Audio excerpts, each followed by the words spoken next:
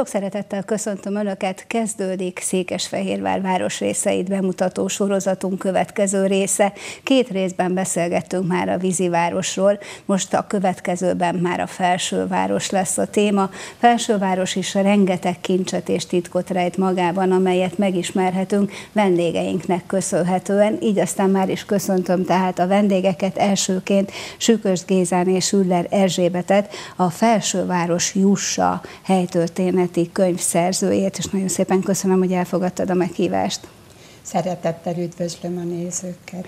És sok szeretettel köszöntöm a műsor állandó szakértőjét, Váci Márkot, a Magyar Városkutató Intézet munkatársát, Neked már nem is tudom mennyire köszönjem meg, hogy itt vagy. Sokat dolgoztunk most is az előkészületeken, hiszen a tévénézőknek szeretném mondani, hogy nyilván, ha városrészekről van szó, akkor nem csak beszélgetünk róla, hanem meg is mutatjuk a képeket, sőt, lesznek majd csemegék is, hiszen igazi népviseleti régi fotókat is láthatunk majd, mert hogy erről is szó lesz a felsőváros kapcsán.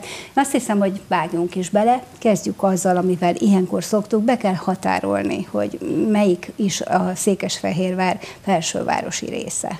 Felsőváros az egy elég érdekes képződmény ebből a szempontból, hiszen több városrész határolja és veszi körbe. Igazából az északi határa az egyetlen, amelyik a városnak a belterületi határához igazodik, ez a Szent Flórián körútnak a környéke, és aztán ezt leszámítva igazából ugye szomszédos városrészek között helyezkedik el, így délről ugye a belváros határolja, majd ezt is megbeszéljük időközben, hogy hol is húzódik ez a határ, illetve milyen lehetőségek vannak erre behatárolásra pontosabban, illetve a Palotaváros, mint nyugati határ, egy nagyon fontos határvonal, nagyjából a Palotai út környékéről beszélhetünk, és hát ugye a víziváros, ami már a múltkori alkalommal szóba került, tehát ugye nagyjából a bíróság, az evangélikus templom környéke a felsővárosnak a keleti határa. Milyen múltra tekint vissza első írások? Mikor kezdődött az élet felsőváros területén? Ahogy a víziváros kapcsán is elhangzott ugye az előző két adásban, már a, a felsővárosnak is voltak korai előzményei. Itt elsősorban egyébként az egyházi épületekre, intézményekre kell gondolni, több kisebb templom, illetve kápolna volt megtalálható ezen a környéken, amelyeket Siklósi Gyula feltárt, és be is mutatott egyébként az egyik utolsó nagy munkájában, a, a Székesfehérvári Szenthelyek felsővárosi kötetében. Megtalálhatók voltak itt különböző kisebb kolostorok, illetve szerzetesi közösségeknek a lakóhelyei, és természetesen kialakultak kisebb telepszerű képződmények. Ugye ezeket a kolostorokat el kellett látni, ugyanis nem mindenhol voltak a szerzetesi közösségek önellátók, tehát azért voltak kertészek nyilván, voltak kisebb kereskedők és gazdálkodók ezen a környéken.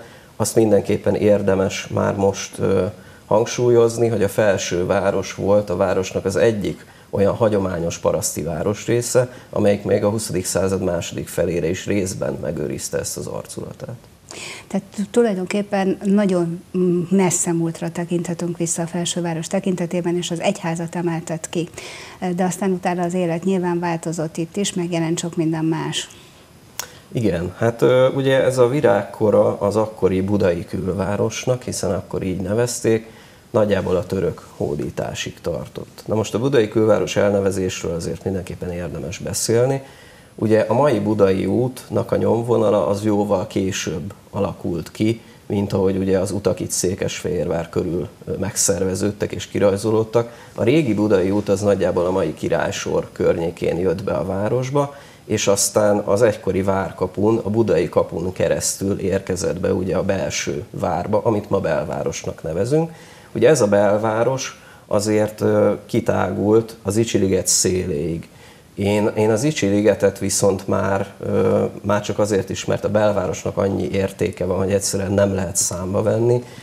Én ezt már inkább a felsővároshoz sorolnám, pont azért, mert ez egyfajta átmenetet képez, területi, illetve történeti szempontból is. Gyakorlatilag a mai Varkos szobor környéke volt a történeti belvárosnak az akkori határa.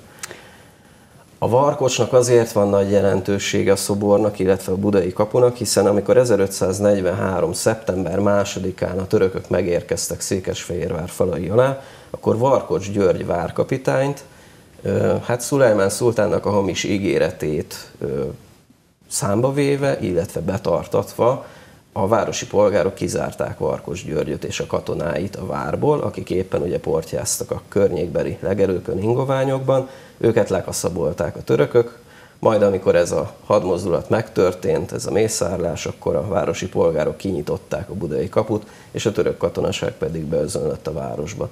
Természetesen azokat az ígéreteket, amiket levélben beküldtek a várba, nem tartotta be a katonaság, ez talán egyértelműnek is tekinthető, és aztán egészen 1688 májusáig itt állomásoztak egyébként a, a török seregek, tehát 145 éven keresztül.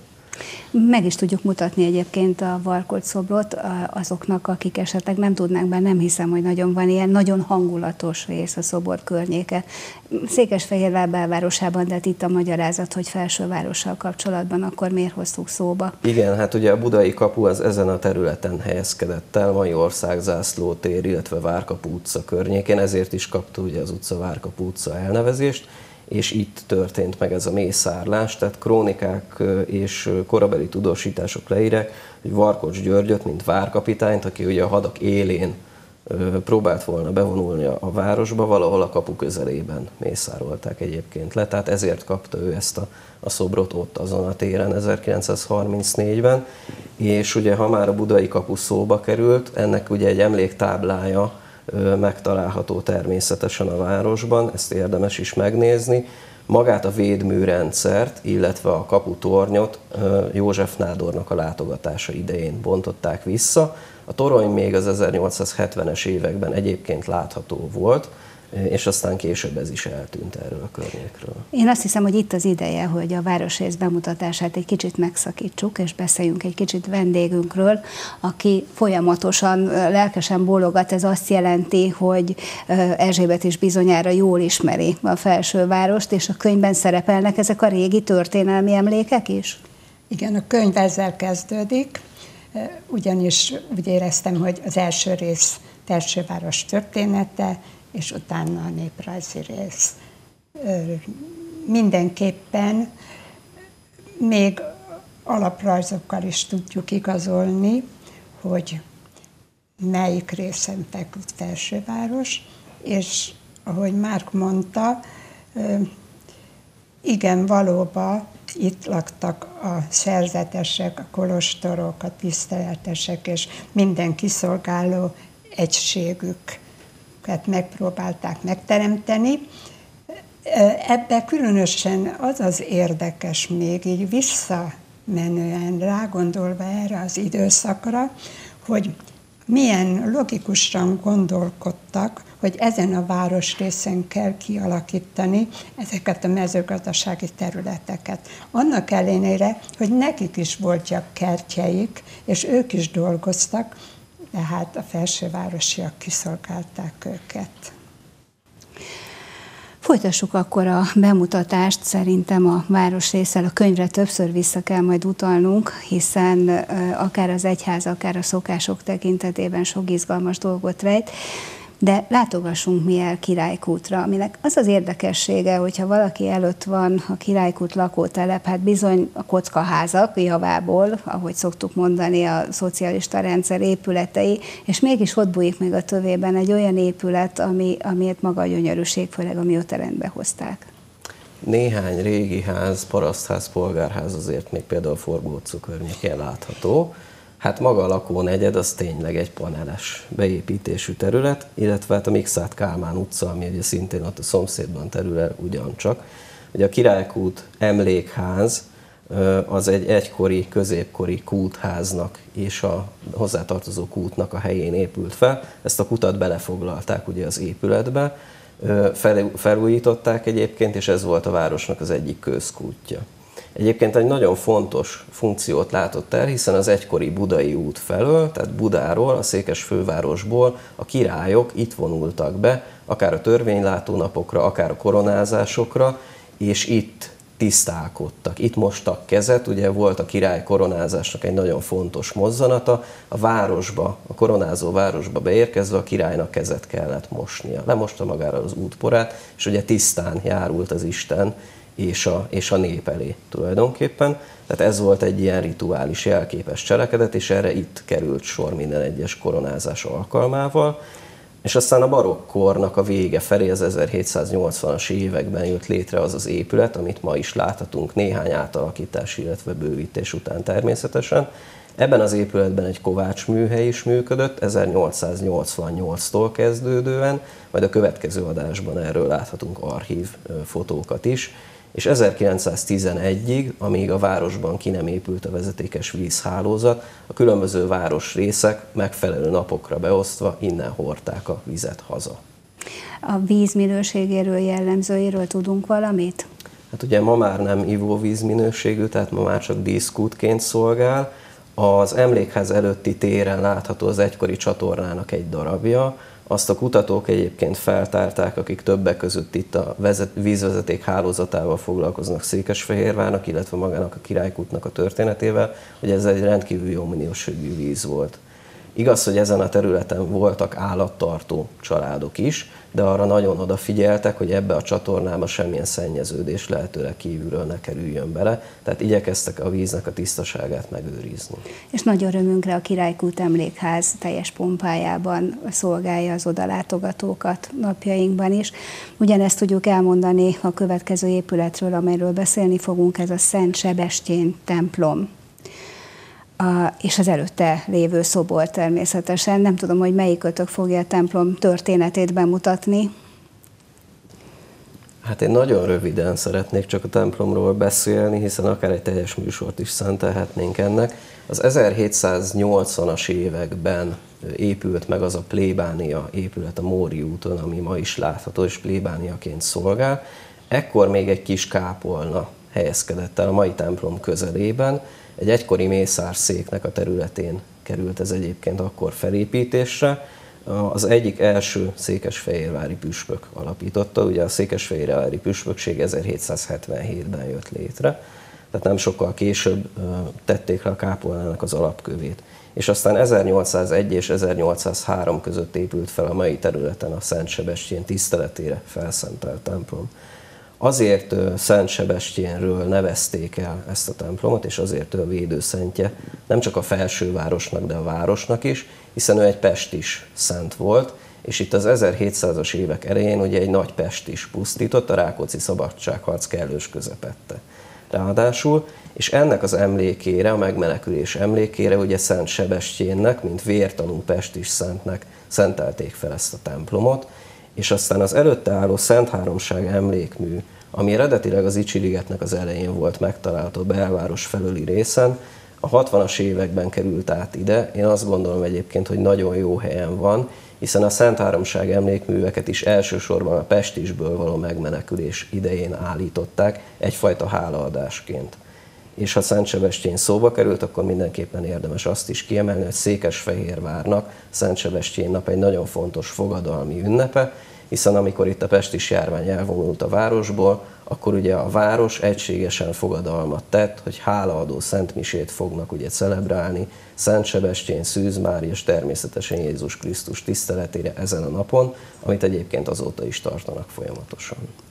És akkor azt hiszem, hogy itt kell beszélnünk a szokásokról, amelyek sokszor köthetők az egyházi ünnepekhez, eseményekhez, de a felső városon azért sok népszokás maradt fent, amelyet ismerhetünk többek között a könyvednek köszönhetően. Beszéljünk akkor néhányról, hogy aztán meg tudjuk nézni majd a képeket is.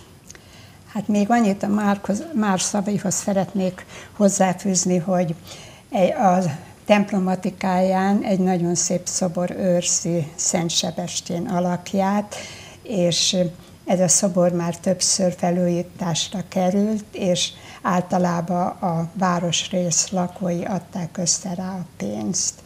És ma, majdnem a templomhoz kapcsolható még a Szent Vendel kápolna, ami a juhászoknak az, az emlékére épült, és azt se hagyjuk ki, hogy végeredményben a Szent Sebestyén templom a juhászok temploma is volt. Minden évben itt gyűltek össze, és itt kötötték a nagy üzleteiket, fogadták a következő évre, felhívták, felfogadták a számadóikat, és nagyon sok rész foglalkozik a szakrális emlékekkel a könyvbe, amiből igazán részletesen meg lehet tudni a templom történetét, és mikor Mária Terézia már 1711-ben alakított püspökséget Székesfehérvárot, és a püspök a mai napig megtiszteli a Szent Sebestyén templomot azzal, hogy január 20-án Szent Sebestyén ünnepén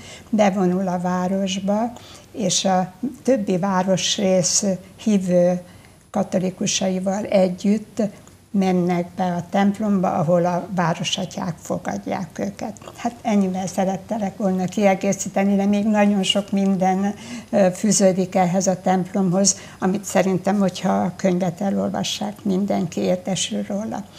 A népszokásokról kérdeztél. Hát mielőtt erről egy szót is mondanék, hadd szeretnék fogadalmat tenni az adatközlőimnek, hogy azokat a titkokat, amiket rám bíztak, mivel ennek a műsornak a Városrészek titkai a címe, úgysem fogom elárulni.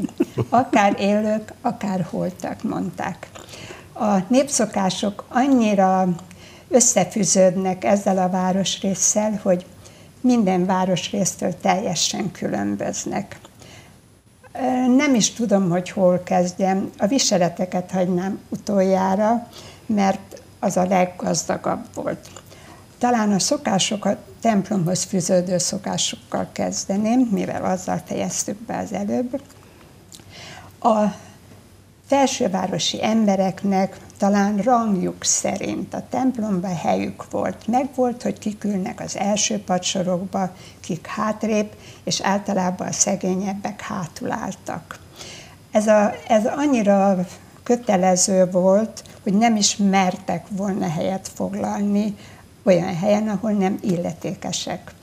A minden áldott alkalommal azok az emberek, akik hívők voltak, már pedig felsőváros népe az egyik leghívőbb városrész volt, elmentek például karácsonyi szezonban, elmentek a Rorátére, elmentek rendezni, takarítani a templomot, utána elmentek délután a litániára, este elmentek a misére, elmentek a szentségimádásra, mindent a városrész gazdái adtak össze, mindenre a pénzt, az oltárterítő, a miseruhától kezdve mindenre. És ez egy olyan nagy erőt adott az összetartásba, hogy egyik se akart lemaradni a másiktól. Még a legszegényebb is a tőle telhető legkisebb összeggel hozzájárult ahhoz, hogy részese legyen annak, hogy milyen szép a templom.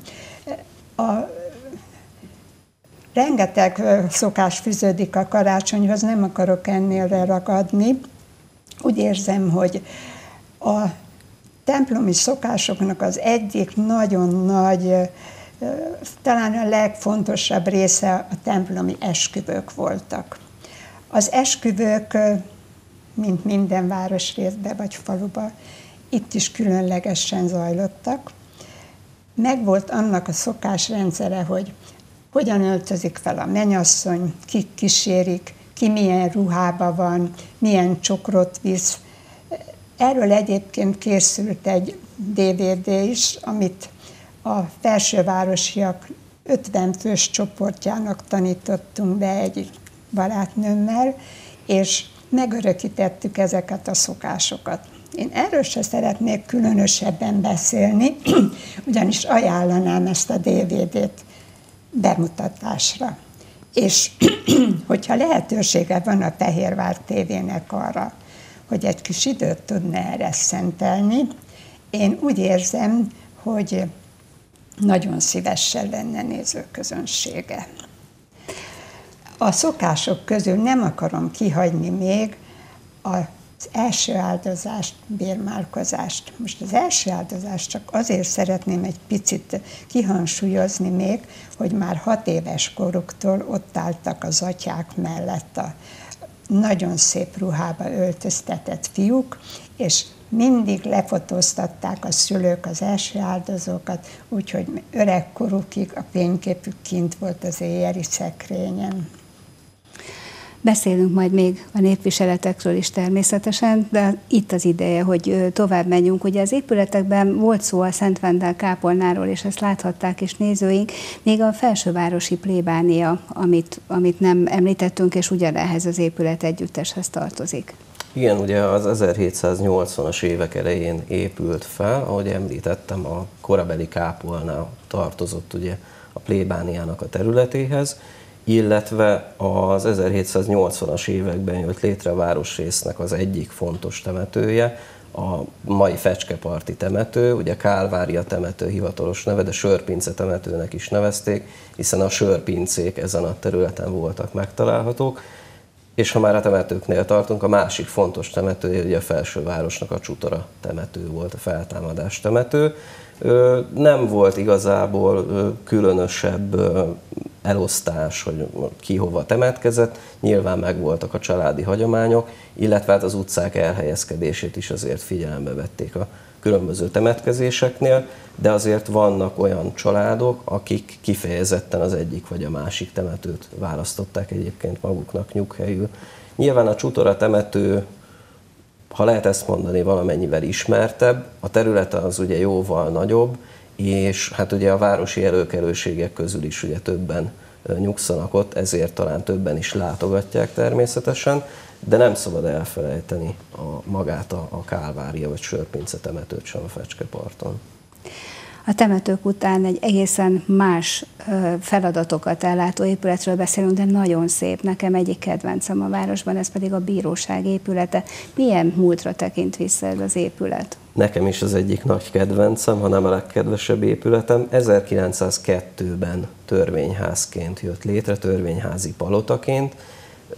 Wagner Nándor volt a tervezője, ugye egy neoklasszicista stílusban épült fel a 20. század elején. A Havranek kőfaragó műhely volt az, amely ifjú Havranek Antal vezetésével a kőfaragó és épületdíszítő munkákat elvégezte. Tehát az angyaloktól, a címeren keresztül az utolsó oroszlán fejig és az emberfejes portrékig mindent ők készítettek, a stukkókat, a párkányzatot és minden egyebet.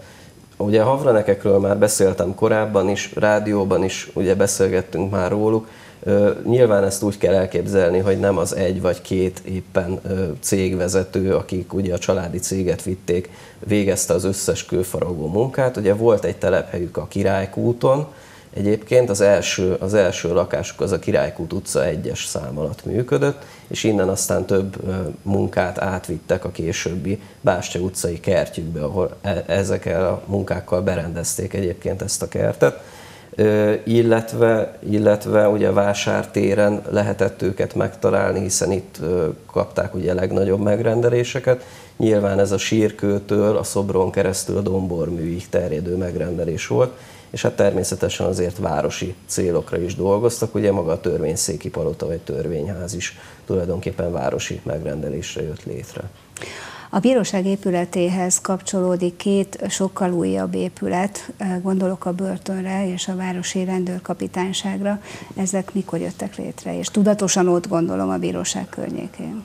Hát a városi rendőrkapitányságnak a felépítés az annyira nem volt tudatos ebből a szempontból, hiszen egészségügyi célokat szolgált, ugyanis egy szanatóriumként működött.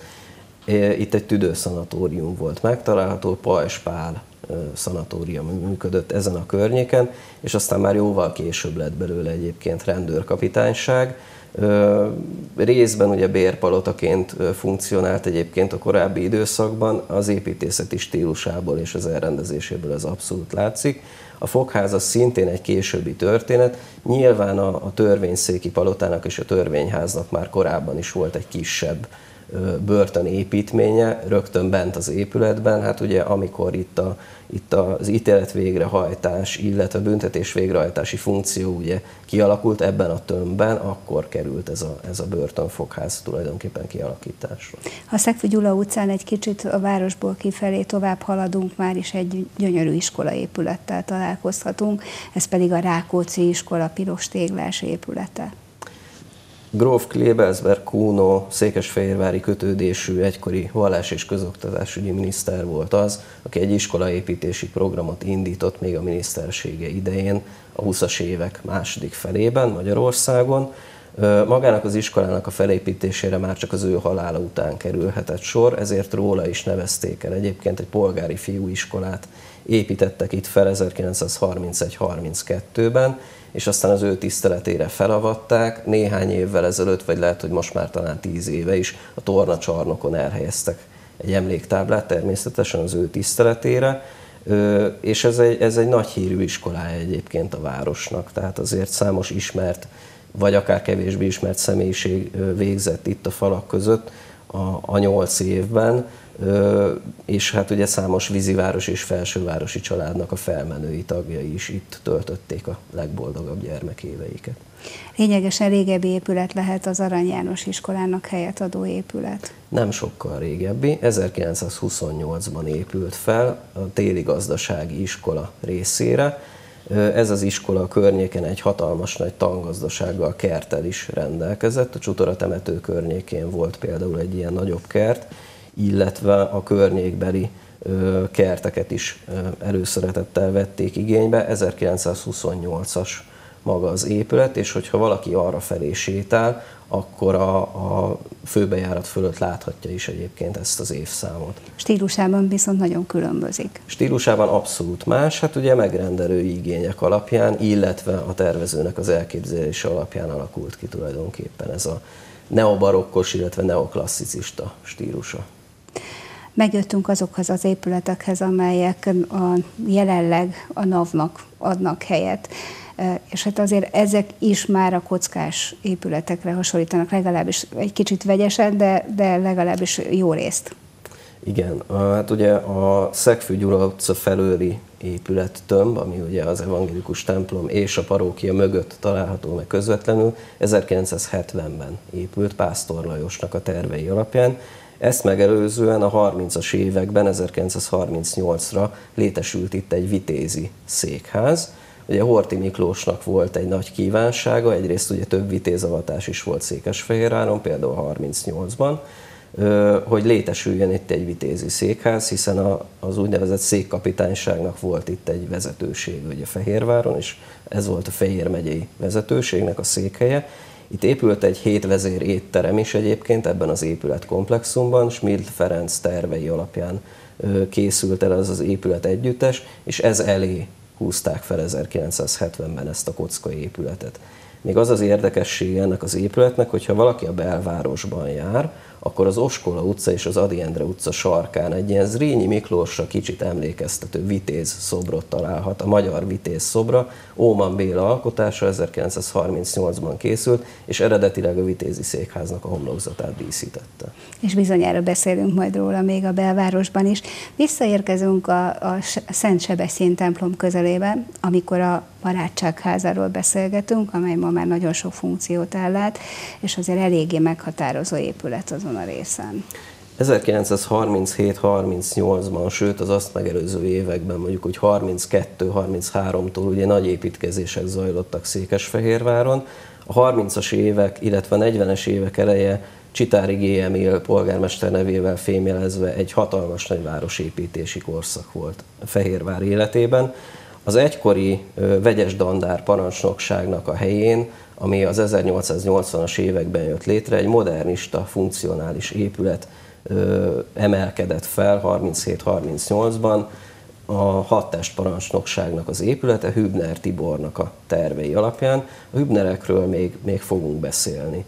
Aztán ugye ez később részben városi, részben megyei tulajdonba került, és ugye egy művelődési intézmény szerveződött meg magában az épületben, és aztán ugye létrejött a, a barátság háza, tehát ugye a szovjet-magyar barátság jegyében 1945 után, majd ebből lett ugye megyei művelődési központ, ma már egy művészetek háza jelzővel még ugye kiegészítve. Ha már a művészetekről van szó, itt az ideje, hogy beszéljünk a népviseletekről, amelyet ígértünk a nézőknek, hiszen nagyon meghatározó, és mint említetted, különbözik a többi városrésztől a felsővárosi népviselet. A népviseletek talán az első népviseleteket a németek hozták be, mikor 1688-ban a török kivonulása után betelepítették őket a szudéták vidékétől kezdve szinte Tirolig, és ők behozták magukkal a német viseleteket. De a magyarok soha nem akartak lemaradni, és nekik ők is kitaláltak maguknak egy olyan viseletet, ami teljesen különbözött a, a falusi és sőt a város többi város részének a viseletétől is, ami négy alsó szoknyából állt, felső szoknyából, éppen elég volt a lányok derekának elviselni ezeket a piké alsó szoknya, parget szoknya, meg volt mindegyiknek a maga funkciója, és nagyon szép réklikkel. A rékliknek a, az elkészítésére külön varrónőket alkalmaztak. Nagy dolog volt varrónőnek lenni itt Felsővároson, mert azok, akik nagyon ügyesek voltak, szépen smokkoltak, szépen darásfészkedtek, annyi munkájuk volt, hogy nem győzték a fiatal lányokat foglalkoztatni. Azok, akik viszont egy kicsit könnyedében vették, azokhoz esetleg kötényvallásra került sönnek az alsó szoknyákra. Maguk a viseletek színeiben mindenféle szint alkalmaztak. Viszont ki kell emelni, hogy a Felmayer gyár itt léte miatt a kékfestő anyagoknak a, az elterjedésében a felsővárosiaknak nagyon nagy szerepük volt, ugyanis hétköznapra nagyon kényelmes viselet volt. Alsó, felső szoknya, rékli, kendő, mindent lehetett belőle készítetni. A most a kendőt mondtam utoljára, még a kendőkötésnek is módia volt. Nem mindegy volt, hogy a kendőt hogyan kötötték meg. Napközben csak így, egyre. De hogyha kimentek a városba, ha csak a piacra mentek, akkor is csokorra kötötték még egyszer. Ez nevetségesnek tűnt akkor a többi városrésznek, hogy ennyire rátartják a felsővárosiak, hogy még az sem mindegy, hogy hogyan kötik meg a kendőt. Hát igen, az volt, mert ennek is megvolt egy bizonyos praktikussága, ugyanis a kendő alatt egy koncsvédőt viseltek, ami általában papírból volt, és arra kötötték rá a kendőt. Ugye mikor városban mentek, akkor finomabb minőségű anyagból készült kendőket fortak, és azt ugye jobban meg kellett kötni, hogy ne csuszkáljon azon a konytarton. Hétköznapra meg többször is meghúzták, ahányszor csak oldódott. A, a kendőknek a minősége a Berliner nagykendőtől kezdve a sejemkendőig szinte felsorolhatatlan. A könyvből azt is el lehet olvasni, hogy mennyi-mennyiféle anyagot használtak. A kendő viselésénél a fiatal lányok csak hajram fent jártak. Ő rájuk kendőt adni a legnagyobb térbe se lehetett, hogyha ráfagyott a hajuk a arcukra, akkor sem. De mikor már férjhez mentek, akkor bizony a menyecskekendőt fel kellett kötni, és ahogy telt a kor, vagy özvegyültek, az szerint változtak a színek is. A déli kabátot nem viseltek általában, a nagy berliner kendő, kockás kendő volt a, a viseletük, amit elég drágán lehetett megvenni, de azt hozzá kell tenni, hogy a felsővárosi viseletet Lehetett akármilyen gazdag, annak több váltás volt, de akármilyen szegény volt, akkor is összekuporgatták rá a pénzt, hogy viseletbe járjon a lány és az asszony. A viseleteknek nagy divatja volt a bálokba. Ott aztán a brokáttól kezdve, a sejemtől a muszlinig, a lücterig minden anyag felvonult, és a lányok olyankor általában rózsaszínbe, világos kékbe jelentek meg, és korcsoport szerint a mamák vagy a kísérő nagynénik. A gyerekeknek is hasonlóan próbáltak viselethez hasonló ruhákat készíteni. Általában nagy létszámú családok voltak. A gazdagabbak, gazdagabbaknál majdnem olyan viseletbe jártak a gyerekek, mint a szülők. Hát viszont a szegényebbeknél kis szolidabb viseletben. De ahány gyerek volt, az mind egyformát kapott. A fiúknak a viseletük hát teljesen különbözött a nagy férfiakétől, mert általában térd alatti nyadrág, kis ing, mellény, ez volt a hétköznapra. Viszont, hogyha ünnepre mentek, vagy első áldozni mentek, akkor szép ezüstgombos zakót kaptak a kisgyerekek is.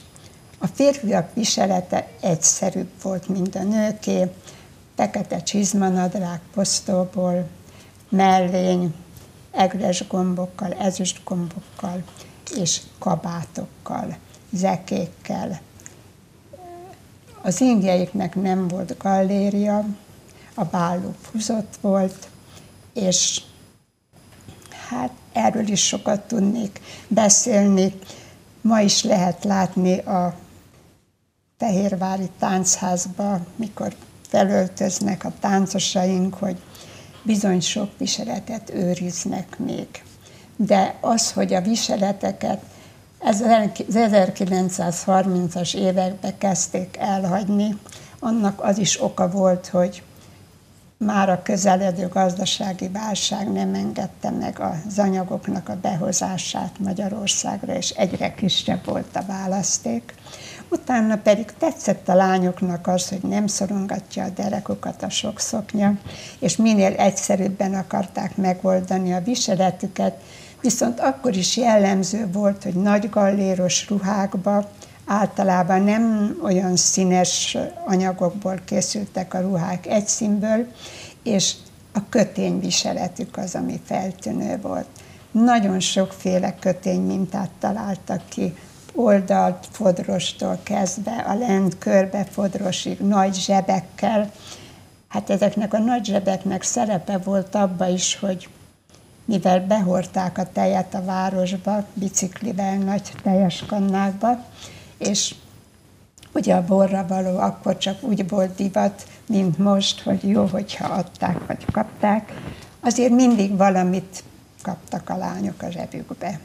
És eznek örültek, és gyűjtötték a viseletre, de nem csak a viseletre, hanem a stafírungra.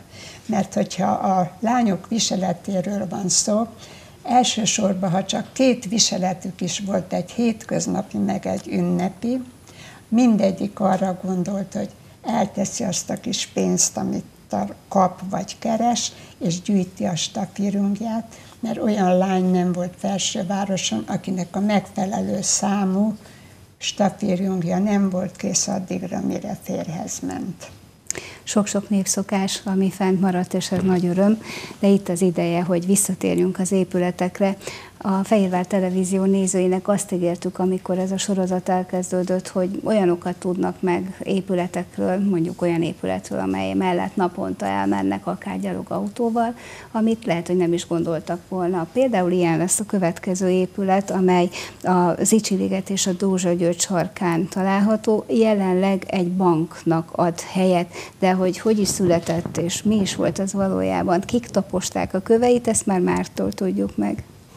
1937-ben épült fel a Magyar Nemzeti Banknak az épülete, nagyjából a ma is látható állapotában és kiképzésében. Ugye ma már egy másik bank foglal itt helyet, ugye a Nemzeti Banknak a különböző székesfehérvári fiókjairól is érdemes lenne egy összeállítást csinálni, hogy hány helyen is volt megtalálható.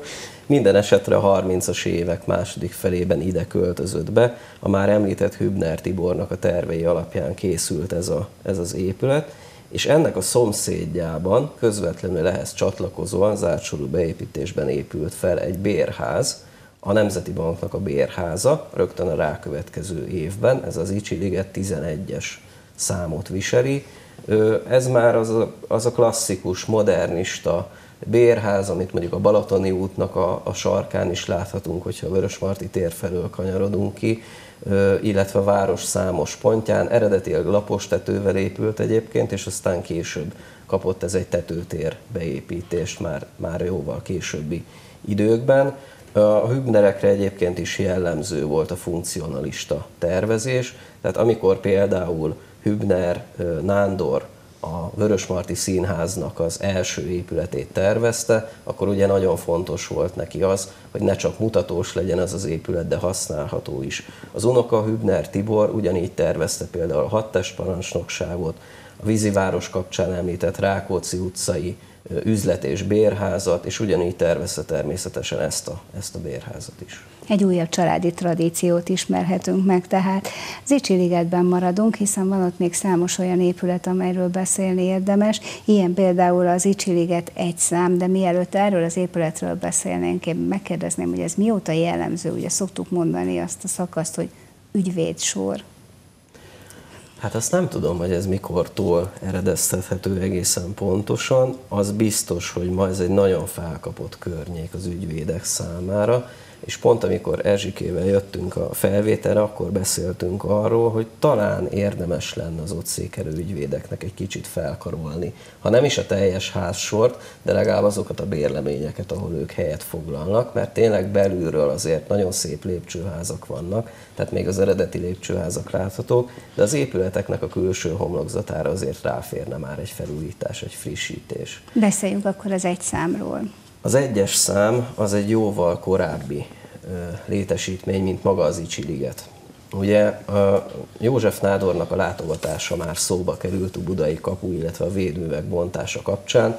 Ugye a Nádor utca elnevezést azt a látogatás után közvetlenül kapta a mai főutca, és erről a Nádor utcáról lehetett ugye kisétálni, például a Juhász templom, tehát a Szent Sebestyén templom felé, meg a külvárosokba, az úgynevezett promenádon, tehát a sétáló utcán, az Allén, és hát ugye itt lehetett a liget soron, az akkori liget soron keresztül aztán ugye a külvárosok felé akár elhagyni a várost, akár egy nagyobb sétát tenni.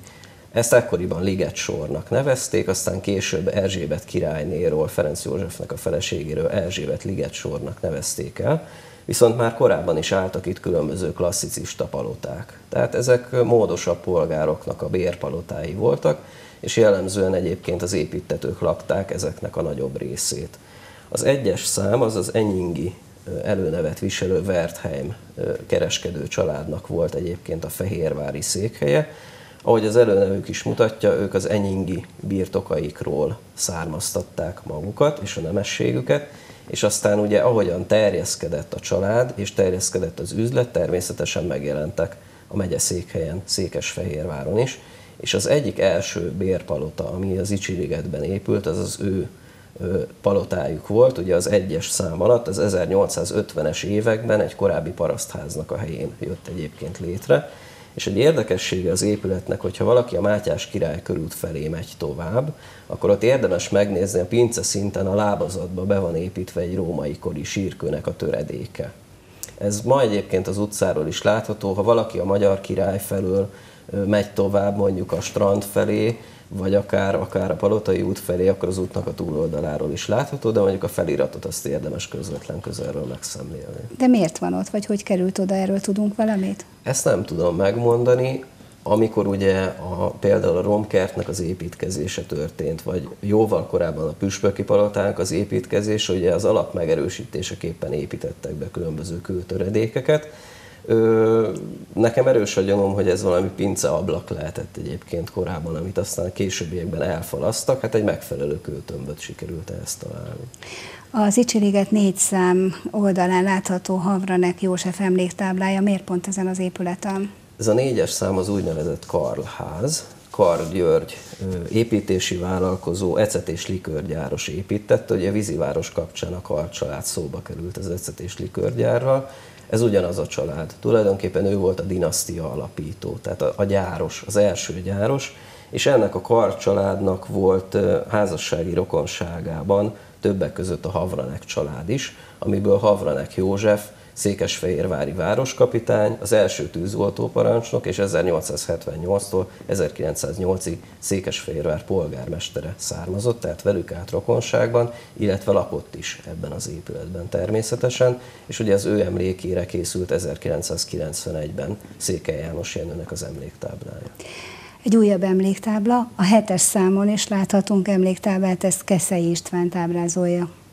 Keszei István író, költő az 1956-os forradalom és szabadságharc kapcsán írta be magát Székesfehérvár történetébe, hogyha a vele kapcsolatos legutóbbi olvasmány élményemre gondolok, Bobori Zoltán írta meg a Bástya utca című írásában azt, hogy az egykori nyomda, nyomda épületben, amiből állami nyomda lett, Pannonia nyomdavállalatból, ugye a Bástya utcai épületben, ő például személyesen látta azt, hogy Keszei István a különböző röplapokat elhozza a nyomdából.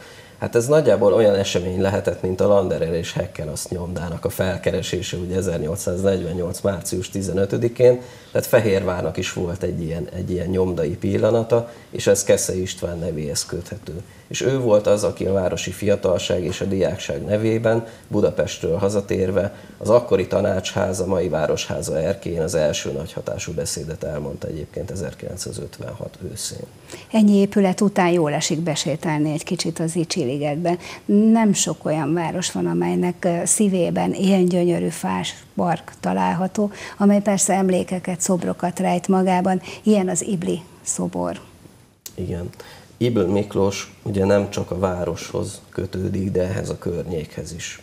Ugyanis a róla elnevezett utcában feltételezhetően volt megtalálható szülőháza, Ma már ehhez kapcsolódóan különböző elméletek vannak, ugye vannak olyan történészek, építészek, akik azt mondják, hogy tényleg ebben az utcában, tehát az Ibl Miklós utcában, a lakótelepnek a túlsó felén volt megtalálható egy kis földszintes ház, ahol valamikor az iblakkerek laktak, ez egy sváb család volt, és ők rövidítették ugye ezt az elnevezést, illetve egy másik elmélet szerint pedig a mai zeneiskolának az épülete adott otthont valamikor ennek a szülőháznak. Ezt nem tudjuk pontosan, minden esetre az egyik feltételezés az, hogy ezen a környéken látta meg a napvilágot, itt született, és ezért is méltó elhelyezése ennek a szobornak, az Icsirigetnek a sarka. Önmagában is tetszetős építmény, de amikor benépesül és zene szól belőle, akkor aztán abszolút, abszolút nagy sikere van, ez pedig a zenepavilon igazán hangulatos és szép időkre emlékezteti a járókelőket. 1879-ben volt itt Székesfehérváron egy nagy ipartermény és állat kiállítás, amihez egy tanügyi kiállítás is kapcsolódott. Ez az akkori méntelepnek a környékén volt megtalálható, ez a mai Lövölde utca, Deák Ferenc utca környéke, majd amikor a vasútvidékről, búrtelepről beszélünk, akkor egy kicsit bővebben beszélek erről is. Minden esetre azt érdemes tudni erről a zenepavilonról, hogy Ötl Antalnak a, vasöntő műhelyében készült ez, Palóci Placer Antal tervei alapján, építész tervei alapján, és ez a pavilon, mint az ötlőféle öntödének egy ilyen kiállítási csarnoka volt megtekinthető ezen a kiállításon. Még azt is tudjuk, hogy ez nagyjából a mai orosz katonai temető környékén állt, a legdíszesebb pavilonok egyike volt. Ugye ezeket a pavilonokat ideiglenesen állították fel, tehát ha öntött vas építményről volt szó, ha csak egy favázos bódéról, mindegyiket elbontották. Ugye Zicsi Jenő gróf volt a nagy kezdeményezője ennek a kiállításnak, és ő volt az, aki a város számára egyébként meg is vásárolta ezt a pavilont, a város ékéül, és ezt a korábbi Erzsébet ligetben helyezték el, amit egyébként Hübner Nándor tervezett. Ő nem csak építész volt, de tájépítész is, Hübner Tibornak a nagyapja. És aztán amikor 1879 után ide került ez a zenepavilon, akkor Zicsi Jenőről nevezték el Zicsi ligetnek, tehát azóta nevezzük így. Nagyon szépen köszönöm a mai beszélgetést is, köszönöm vendégeinknek, Sükös Gézán és Hüller Erzsébetnek, illetve Váci Márknak. A felsőváros történetét folytatjuk majd tovább, hiszen Zicsiriget környéke és a felsőváros maga még nagyon sok titkot rejt, amelyre kíváncsiak lehetünk, úgyhogy két hét múlva újra Városrészek titkai című műsorral várjuk a nézőket. Köszönöm, hogy itt voltak, viszontlátásra!